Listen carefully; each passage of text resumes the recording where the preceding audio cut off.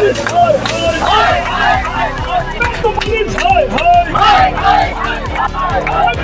this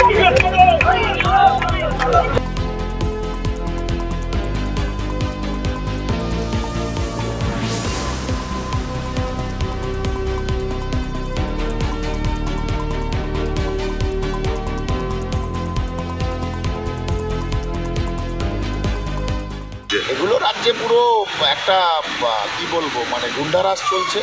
একটু আগে পুলিশের সামনে আমাদেরকে হামলা করা হয়েছে। বাগদায় আমরা প্রচারে গেলাম, সেখানে হামলা করি। মানে পুলিশ মোটামুটি টিএমসির দালালিটা সম্পূর্ণভাবে করে যাচ্ছে। যতটুকু দালালি করে ব্যাকআপ দেওয়া যায়, বনগাকে ততটুকু পুলিশ দালালি দিচ্ছে। ইলেকশন কমিশন তারপরে সে কার্ড আনতে আরও বেশি আরও পনেরো মিনিট, বিশ মিনিট লাগালো। মানে আমার এখানে টাইমটা ক্লিন করা হচ্ছে। এর মতো পরিস্থিতি আমরা দিয়েছি গাড়ি চেক করেছে কিছুই খুঁজে পাইনি। আমি স্পেশালি বলেছি পুলিশকে ঢুকে ঢুকে গাড়ি চেক করুন। আপনার গাড়ি চেক করা হয়েছে? হ্যাঁ? আপনার গাড়িও চেক করা হয়েছে? হ্যাঁ আমার গাড়িও চেক করেছে ভিডিও আছে আমাদের কাছে। বাগদাতে গ্রামের কিছু মহিলারা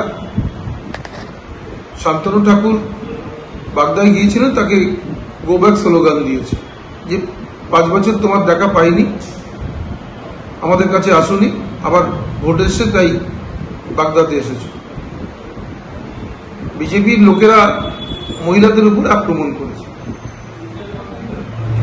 এবং বেশ কয়েকজন উন্ডেড হাসপাতালে ভর্তি হয়েছে এটা বিজেপির সংস্কৃতি। এটা গুজরাটের সংস্কৃতি আনতে চাইছে। শান্তনু ঠাকুর একজন উচ্ছৃঙ্খল একটা লম্পট প্রকৃতির যে মহিলাদের ছাড়ে না।